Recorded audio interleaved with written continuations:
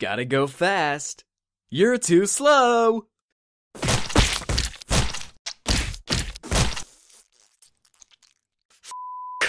You.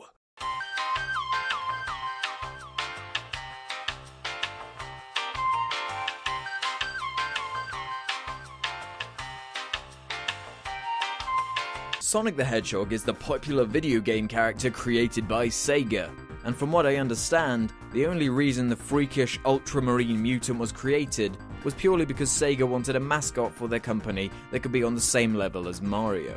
And this in itself is one of the main reasons as to why Sonic is just repulsive to me. I find his overall design just dull and uninspired. He's got his blue hair, huge white gloves, comically oversized shoes, and even the damn belt buckle on his shoe is yellow. Coincidence? I think not! Seriously, Sega? You seriously couldn't think of anything better than this? And what was the thought process behind choosing a hedgehog as your mascot? I mean, I can understand why Nintendo chose a fat Italian plumber as. Uh... Oh, wait. So I took it upon myself to redesign Sonic to make him infinitely more realistic and better in every way. For a start, Sonic's legs are far too puny and weak to support the supposed fastest thing in the universe. See? Much better. This is also acceptable. Sega, take notes.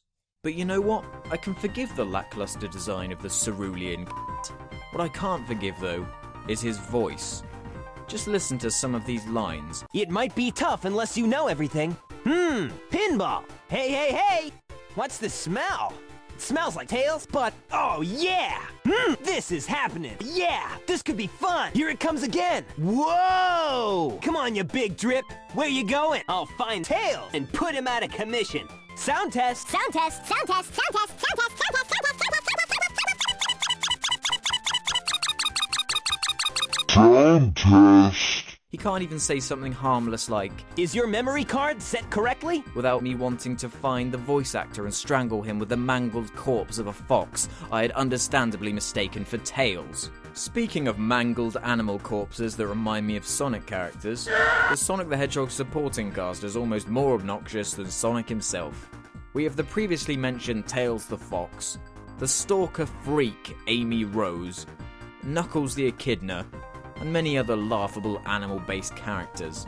Another particularly grotesque feature of the character designs that has always bothered me is the way they have one bizarre conjoined eye that somehow can independently control two irises. It's the stuff of nightmares. Hilariously enough, I've not even mentioned the games themselves these characters are featured in yet. And non surprisingly, pretty much all of the Sonic games are pretty terrible in my eyes. The problem they seem to have is that they all try to rely on a forced gimmick. No one wants to be a damn long armed, freakish Sonic werewolf, or a side splittingly hilarious looking Sonic Knight.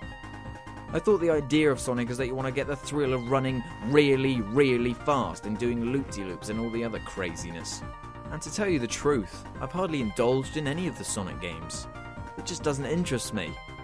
It's just stupid. So, so stupid.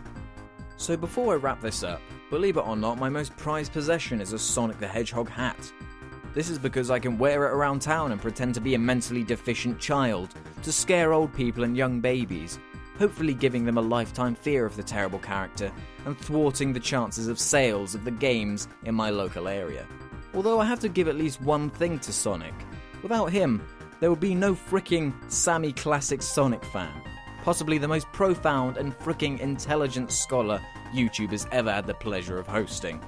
I put a link to his channel in the description. It's definitely worth a look. So while I may think Sonic is the worst game character ever, I understand there are those people out there who do enjoy his boring character and mostly lackluster games. And I think it's safe to say I'll not be pre ordering the next Sonic game to get the special character skin pack that lets me play as Usain Bolt. Actually, you know what? I would play that. So at the end of my last video, I asked what people thought about DLC, and here are some of the best comments. So here's the question for next episode.